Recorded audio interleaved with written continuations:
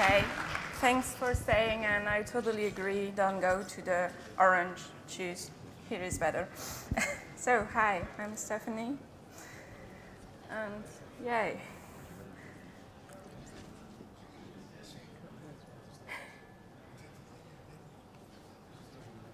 So, this lasted five seconds, but when you're stressed and on stage, sometimes time doesn't work the same way.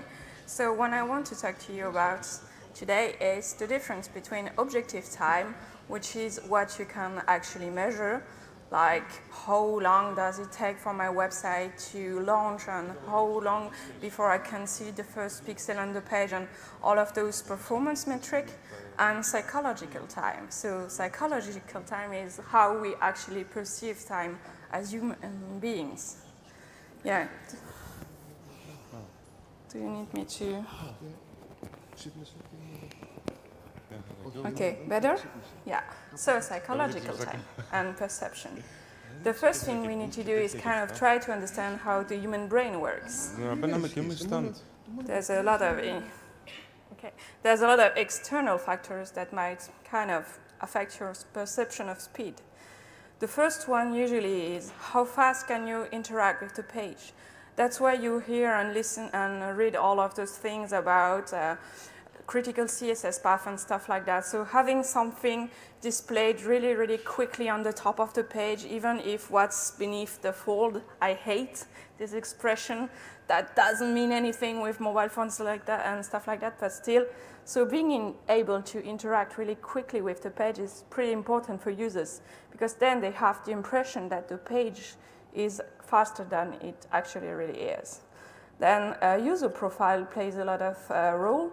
Like younger audience, they're more demanding. So if you're designing for teenager, million, millennials and stuff like that, you'll have to make your website way more faster because demanding audience.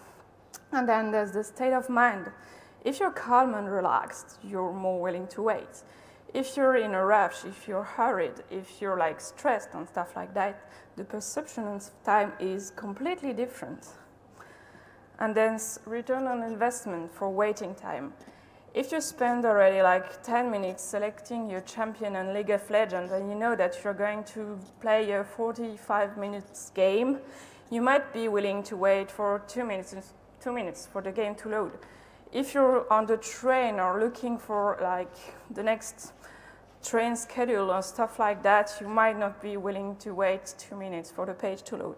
So again, it's all about return on investment, even for users who are actually waiting. And then the perception of speed, so not the real speed you can measure, but also the perception, plays a really, really big role on user satisfactions. Some sites are really low, like Amazon used to be really low to load, but users were able to do what they wanted to do on a website really quickly.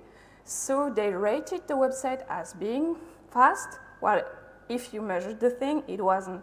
But again, they were able to do what they wanted to do in an easy way, so they perceived it as being really fast.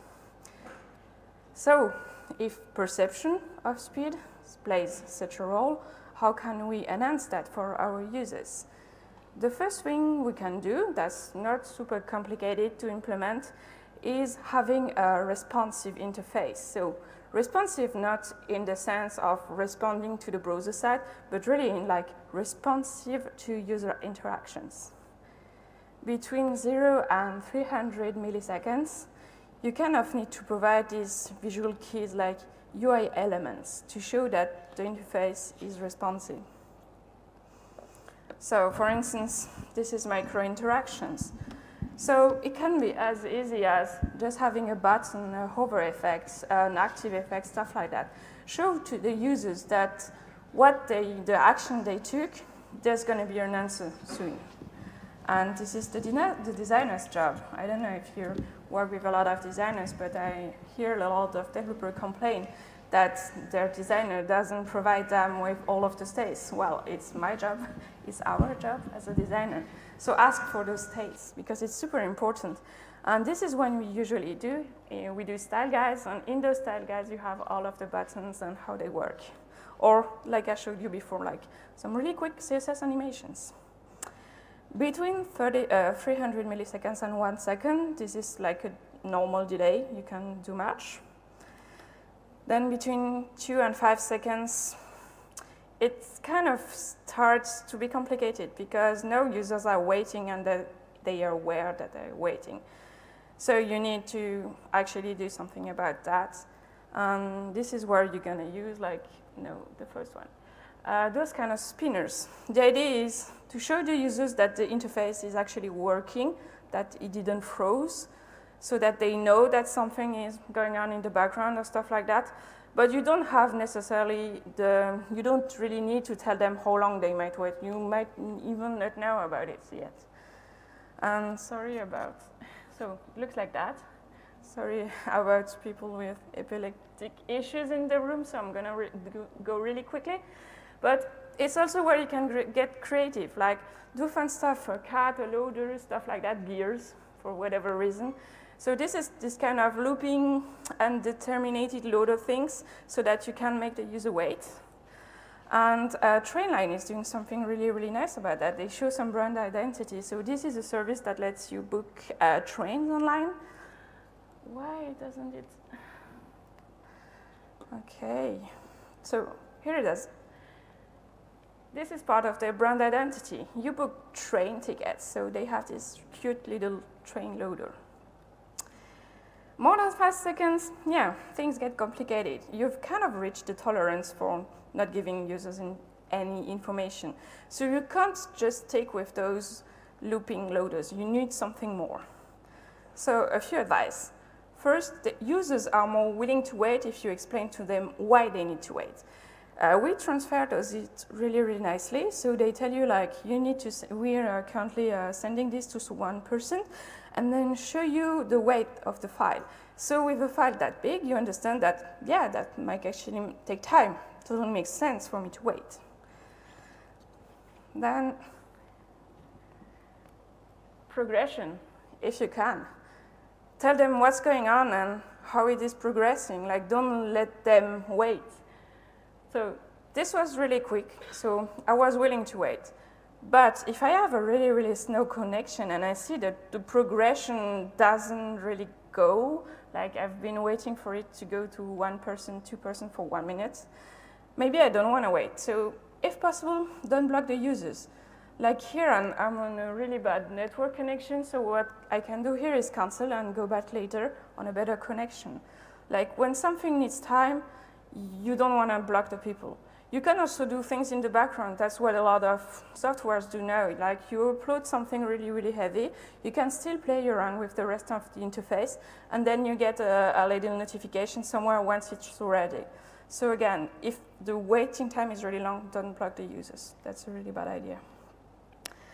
And 10 seconds is about the limit. Like after that, you can't really keep users' attention focused anymore.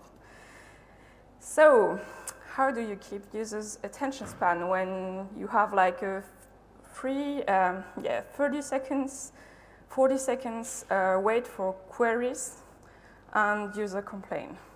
So this is what happened. A friend of mine uh, told me like, we optimize every piece of code we could. So they optimized the database, they optimized the front end. They couldn't optimize any piece of code. There was no code left to optimize. But there were a lot of queries. They needed to search through the database for different stuff, and uh, users with really heavy queries were waiting like 30, 40 seconds for the interface to load. So he asked me, what can we do? Because we put one of those loaders and people are still complaining. And I said, yeah, of course, you're taking their attention and you're showing them the spinner forever. That's, you need something more. You need something valuable to your users. And this is the solution their design team came up with after I gave them a few advice. So you have to understand, these clients, they are shipping containers through all Europe and through the whole world. They're in Marseille, and like seagulls is something really important in their cultural identity. So what I did, instead of having this boring spinner, they had this cute little seagull. And it was wildly approved. My friend couldn't believe it. was, we removed it, we put a, single, a seagull, and everybody was happy about that. Because it spoke to them. It's like they way are having something fun. They can't put like beer loaders, stuff like that. It's a corporate company, but a seagull. And they did another thing, they put information. So while you are waiting, you actually see this.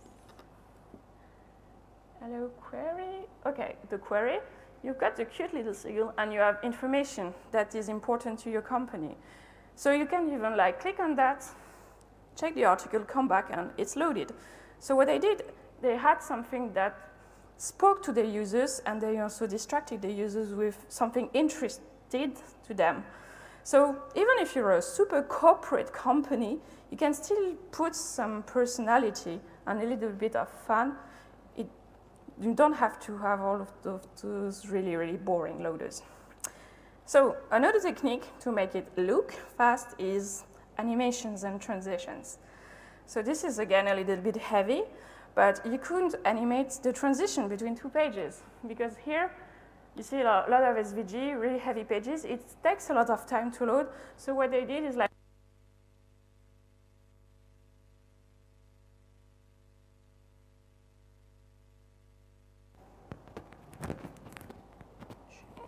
Okay, sorry. So yeah, the, the cute transition between both pages so that they have time to load the things in the background and users don't wait with a blank page. Another thing, uh, so this is a demo by Val Head. She does really, really interesting stuff with CSS. And animating arrival and departures on the screen is also something interesting because here you get the extra seconds to create the elements into the database. You also, you also give the user this kind of spatial aid on the interface. They know that the things come from the left and go back to the right. So it helps them again kind of understand the interface and it makes it feel a little bit more smoother. If you're stuck with progress bars, that happens, there's two tricks. So this is based on actual uh, scientific studies. The first thing is like um, we remember first things and last things. So you can make the progress bar feel more satisfying if you speed it towards the end, because then users will remember the speeding part at the end and not the rest of the waiting time. And then there's another little trick, which is with ribbons. So this is not trendy anymore, but you see it go to the right side and the ribbon goes into the other direction. So this is just like visual tricks to make the progress bar feel a little bit faster, even if like the actual waiting time doesn't really change. So I applied some of those techniques in the Ionic application. We had uh, an application for uh, home surveillance. You could ask for a recording. So you have to imagine somebody uh, who just got an intrusion alert on their uh, mobile application, like, hey, somebody is trying to go into your home. So you need to understand the level of stress of this person, and they can ask for a recording. So first thing first, discussing with the development team to kind of understand how this was going to work. And I understand this was not going to be easy because you have the cameras into uh, the user's houses that send a video to the server. The issue is that the format of this video is not web compliant, is not mobile compliant, so we need to re-encode this video on our servers to then send it to the mobile application. And then can take a lot of time to do that.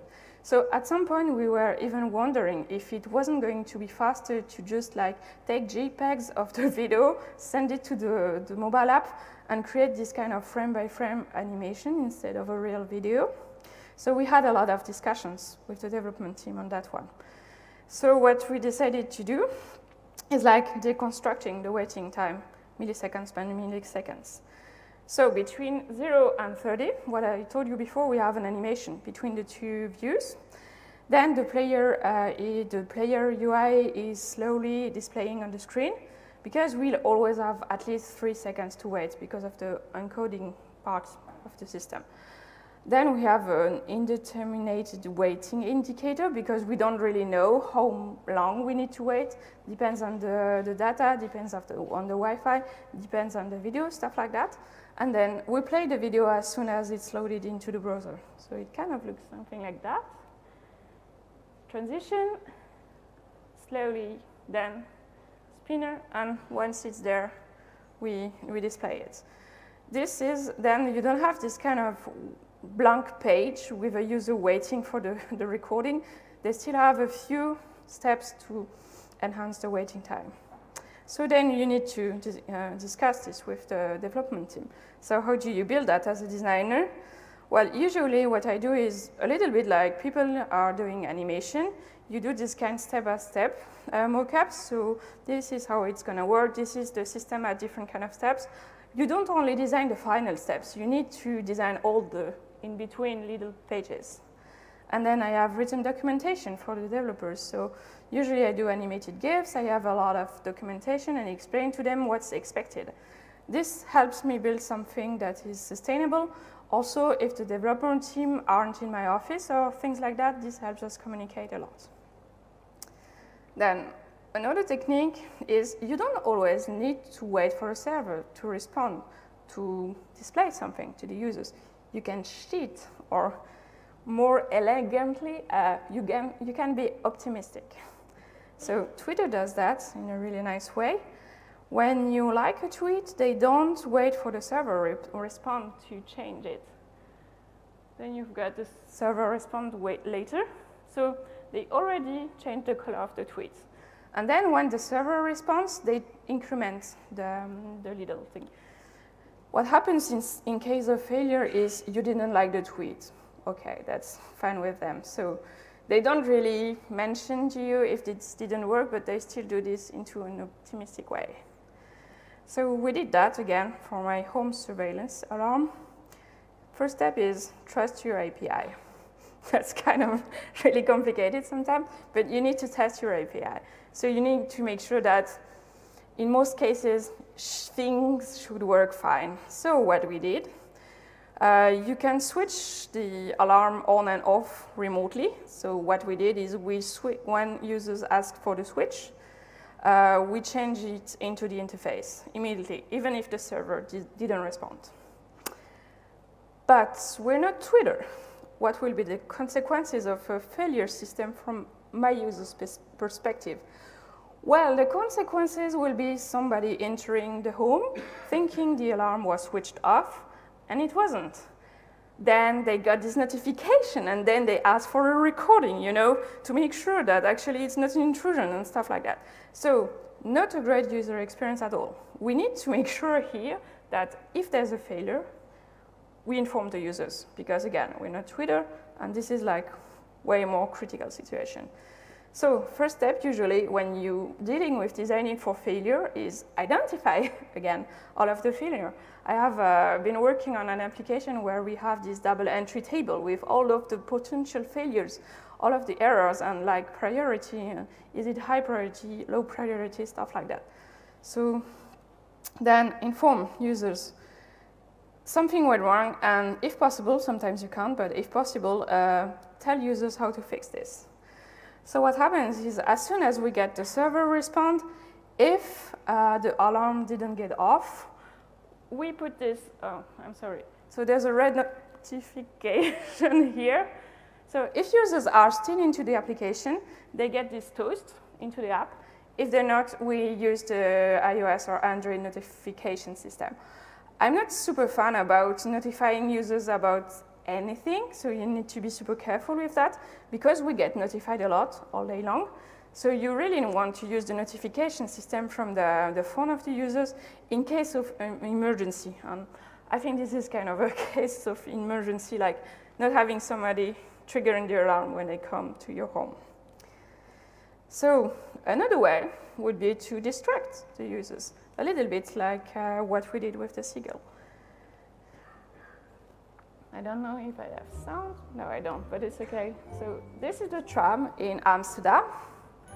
And to distract the users for waiting during the, the, um, the commute, what they did, they put these little crocodiles and then you just hide one eye and you try to eat the people's head. So it's kind of cute yet weird thing to do. But the idea is like distracting users, give them something fun to, to, to play with. Of course, we can't all have, have little crocodiles in our application, so we need to find something else to do for our users while they're waiting. Uh, Instagram is doing a really good job at that. What happens is like, as soon as you've uh, taken the picture, it started getting uploading on their servers. So you're distracted. You're currently um, adding the comments, trying to find the perfect hashtag, mentioning people, clicking on all of the other buttons. So they're uploading it, and when you actually send posts, well, it's almost instant because it was already uploaded while you were distracted doing something else. But again, we're not all Instagram, so there's a few other things you could do. Skeleton screens is one solution. So skeleton screens is like, instead of, again, showing a blank page, you show what's the interface going to look like, and you lazy load the content into it. Working, not working? Yes. So a bit slow. So this works as well. Um, test it on your users. There were a few articles in the like last month where people used skeleton screens and it didn't really work for the users.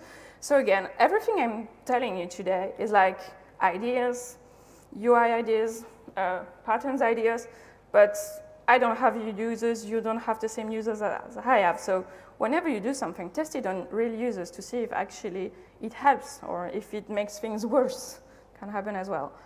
Another thing is like, instead of having those really, really boring blank situation, what Pinterest does, and I think Google borrowed that as well now, is like having the color, the main color of the, the picture you're going to display, they already display it.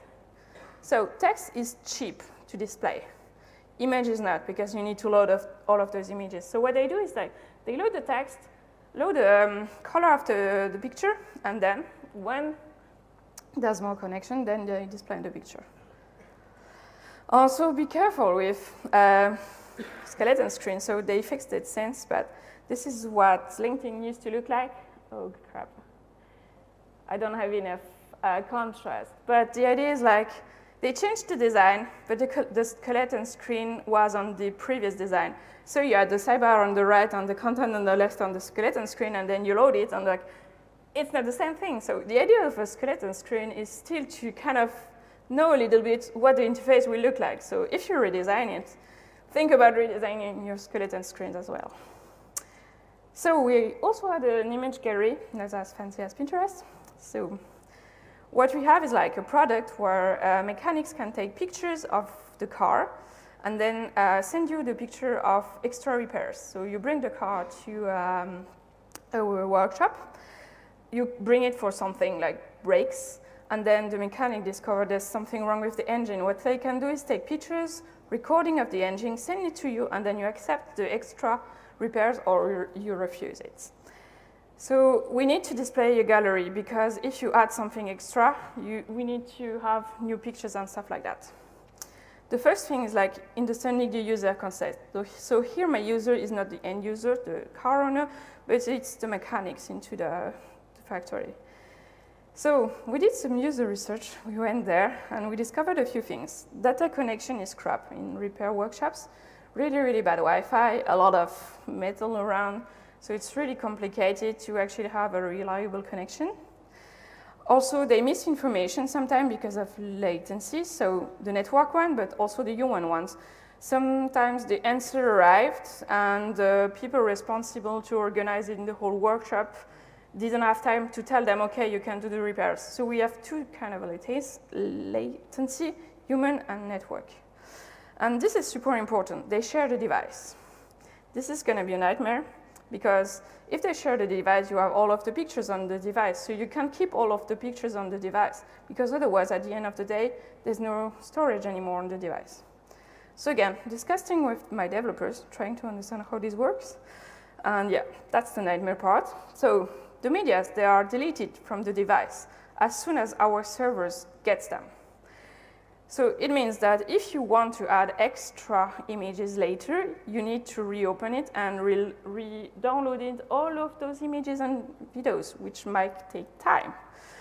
Uh, then the good news is like we have the size, the media type, the number of media into a JSON file, so that can go quickly. And then the thumbnails, they are from uh, Amazon S3, so that's kind of quick, but not that quick. So how did we build it? So first, the JSON file sends me how many images I have. So I can start building this skeleton screen. Ah, contrast. So there's a skeleton screen here with all of the different um, little uh, images, so you know how many you have. I hope this one gets better. Yeah. So then uh, into the JSON file, we have the um, type of media, so image or recording. So then we can not only have a skeleton screen, but already tell the users what kind of media it's going to be.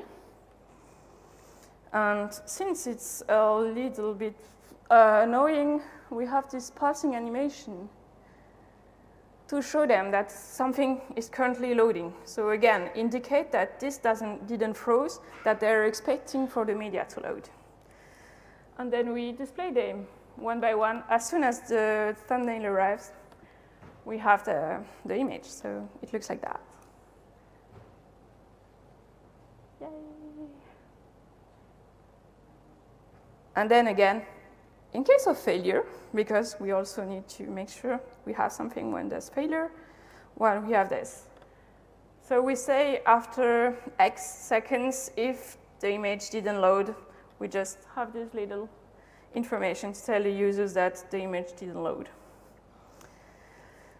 And last but not least, no user interruption. So you have to imagine, I had repairs, I send it to the server, but I need extra repairs, so I load the, um, the media gallery but I might not actually need them. So what happens is that,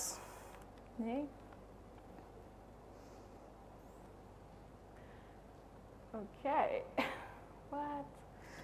So what happens is that while it's loading, you can still click on new image. And then you take new images, and when you come back, there's a good chance the gallery already uploaded all the images in the background while you were taking new images. So again, smart distractions. Communicating what was expected here was really funny. You could use things like InVision to create prototypes. Then you can simulate this kind of waiting time using animated GIFs. So it's interesting, but it's really, really limited. You have to put all the, those, frames. It's almost like animated something frame by frame. It's really, really long, and it's sometimes not worth all the pain to do that. Sometimes it's easier just to describe the animation you want. Also, too realistic fake prototype backfired during user testing. So that's another funny thing. I did some user testing. I wanted to test a lot of functionalities at the same time. And I put those kind of fake waiting time to see how user would react. But it was fake. I decided that there was going to be a 10 second waiting time. So what happened is like, I used the same prototype for developers and for user testing, but then I had like false positives and issue with the user testing because I didn't really want to test that. I wanted to test the other functionalities. But anytime someone, someone would come back to the gallery, they had this 10 second fake waiting time.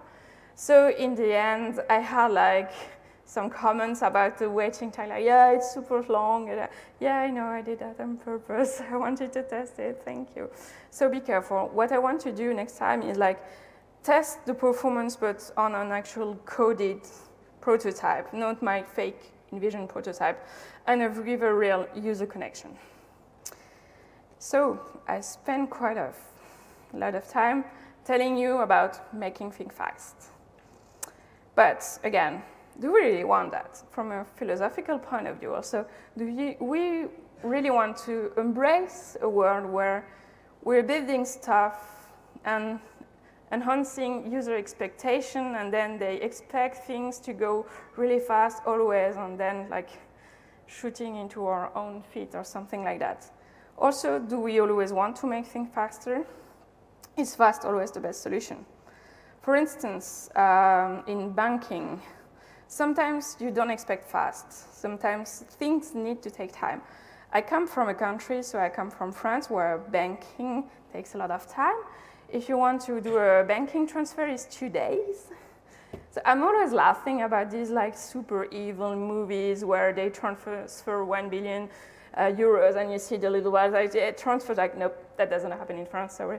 So my expectation, the um, mental model I was born with and I grew up with is like banking takes time. Then I got this N26. It is a German company. And the first time I paid with the card, I had this little notification about how much did I pay. I was like, what the hell?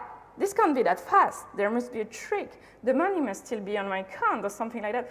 So it triggered a lot of questions because for me, banking takes time because that's the, the model in my mind. So again, depending on your user expectation, maybe fast is not always the best solution. Again, another example into banking, uh, Wells Fargo, they built this uh, banking app and you could uh, register, with, not, not register, log in into app using um, eye scanner. Again, thanks movies like Minority Reports and all of those movies, when you see someone doing an eye scan, it's like they put their eye just, it takes time into those movies. Because it's a movie, because they need to make you understand that something is happening. So what happened here is like, it took less than one second and users weren't convinced. They had this kind of, again, image that scanning an eye must take time. So for security reason, it wasn't possible. So they did some user testing and users say like, yeah, it's nice, but I'm not gonna use it because I don't trust the security of that. It was secure, it's again, but perception. Another example is something that was documented as the kayak effect. So what happens, like we value things when they get time. And like Kayak and all of these other websites, they are supposed to scrap the internet, the whole internet, the big internet, for cheap prices. And you expect that to kind of take time, right? So they had a super algorithm that was able to scrap it really, really quickly. But again, Users expect it to be slow to scrap the internet and all the other things to find the best offer. They expect it to take time because when there's time into that, there's value. So this was documented as the kayak effect. They, again, introduced fake waiting time so that user would trust the product. And again, conversation, it takes time. So if you want, for instance, to make a bot, chatbots, I know those are trendy, feel more natural, well, you couldn't give the answer right away. We have the technology for that. If you have the network, you can just throw the answer and it's okay. But the principle in, behind a chatbot is that it's supposed to kind of feel like human. And sometimes when you, usually when you ask human a question, it takes time to answer. So if you want a chatbot that feels a little bit more natural, you need this kind of little trick. Like, this is totally fake. It could reply in less than a second. But now we wanted to feel human, so we add this extra waiting time to, again, make it feel like a real conversation. So, in the end, we designed and developed in a privileged environment. Sometimes we need kind of a reality check, like what is it like for our users? My users are into car workshops with really crappy connection. My users are nurses into hospitals with really, really, really crappy screens and stuff like that. So it's nice that we have all of those tools and super connection at work, but we still need to test it on real users in real conditions because their, their environment is not our environment. And again, we need to communicate and develop and work together a little bit more usually what happens when it comes to this kind of state is like designer is designing the best scenario states. And then if there's failure, well, it's the developer job to kind of try to come up with a solution.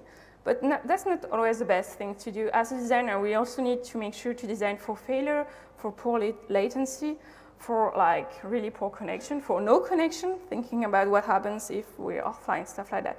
It's our role, my role as a designer, to do that as well. And then perceived performance might not be the true priority on the agenda. Usually when you're at this conference, you're telling people about super cool stuff. But so in real life, what happened is like, it took six months to have this into my application. I kind of sneaked it into a release. so it might take time. The developer, they were ready, but it wasn't on the agenda. So again, it might take time for those things, but be patient because, eventually it will happen. And again, we can't all be Instagram, Twitter, Pinterest. We can't all do these really, really Dribbble-like, dreamy interfaces. And it's okay. It's also super rewarding to do something really, really nice for real users, even if it's not like this perfect Dribbble shot. It's perfectly fine. Thank you very much. Think this is. Questions? Ladies and gentlemen, it's time for questions.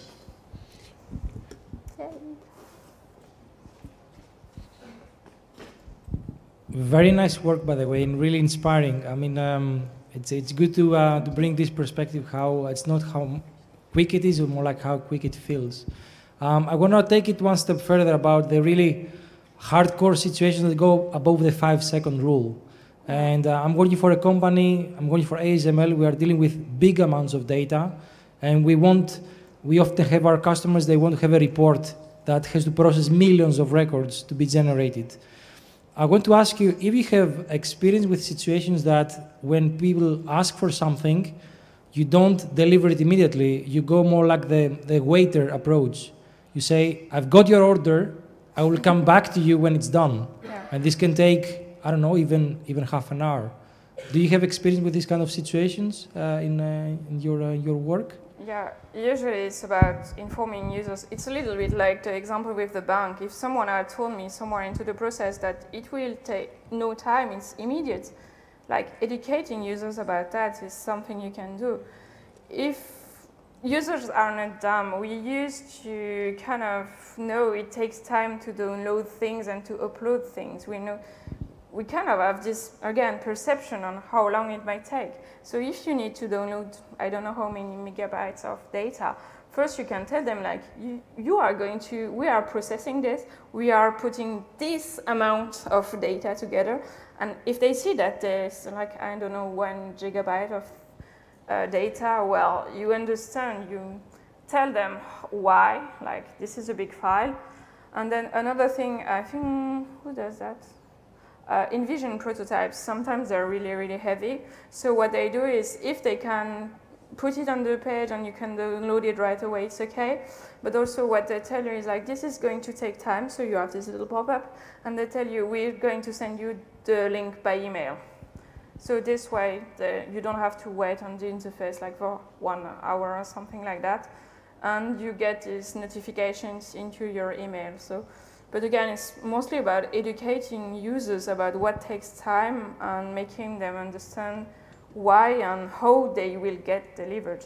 If the, for instance, in your example, if the waiter is telling you like, yeah, we've got a lot of orders and we're doing fresh food, you know, we don't have all of this prepared stuff, so it will take a little time for you to have your salad, but it will be a fresh salad, something like that.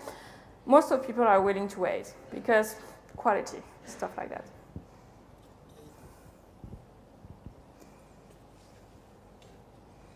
Another question?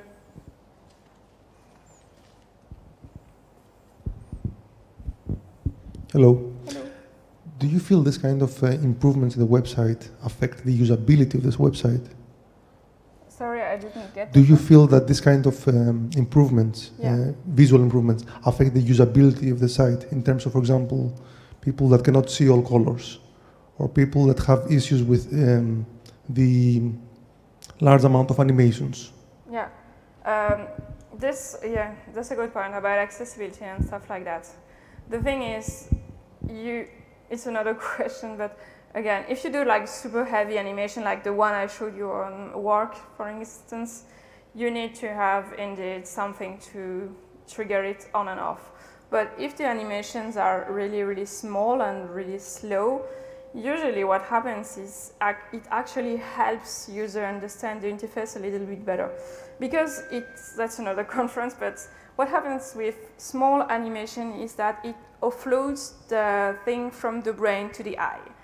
So for instance, if you have curtains, if they are closed and then opened, your brain needs to think that something happened between the two states, like the, the curtains, they went down or up, something like that. If you do a small animation like curtains or here it would be long, like opening menus and stuff like that, you see the animation, so your brain doesn't need to do all of the work. It's your eyes that sees the animation, and then you understand like, okay, I went from this state to this state because I actually see the, the connection. This is a little bit why we also have like smooth scrolling and stuff like that. You click on an anchor, you are at the end of the page, no scrolling or something. You're wondering like, am I in a new page or am I still on the page where I am, what happened, stuff like that. If you just have this really small scrolling animation, and I'm not telling you about taking control of the whole browser and doing this crazy stuff, just like small animation, you understand like, I was here, I'm here, and I kind of see the in-betweens. So if you're doing like super heavy animations, of course, you might need uh, something to switch them off. And then for small ones, I think it's kind of okay. Time's up, sorry. You can still come to me after and ask me a question directly if you want. We've got time for one more question. Yeah, okay. One more. Going Which is once, going be going my question. twice. Uh, tell me, Stephanie, that, um, there was a time when a couple of days, a couple of days to wait for an email was was okay. Then, uh, then we got into instant messengers, and you start to get a little bit antsy if you don't get an answer within five minutes. You think you're being ignored. Now we're talking about how we're talking about seconds for for sites to load, and we've still got to try and bridge that gap because patient level patience levels are dropping all the time. Um, do you see that? Is is that your experience in your work? Yeah. The patient levels are, are dropping. Totally, because people kind of, uh, it depends, like end users like us, yeah, we're super, like, really, really, really high on, we want the reward, like, right now, we want the answer really quickly. But I see that if you go to more B2B thing, like I work for the, a lot of company that still has Microsoft old school interfaces that literally take one minute to load all the data, and the users are so used to it being super slow that just a small improvement of speed make them super happy.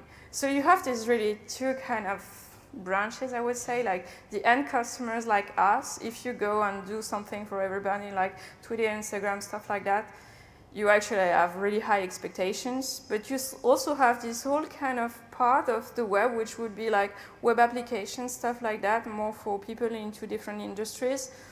And they're not as impatient as we are today. But again, it's all about the world you want to build. Do you want to build a world where everyone is impatient? Like we have Twitter, Instagram, and Facebook playing with our fear of missing out.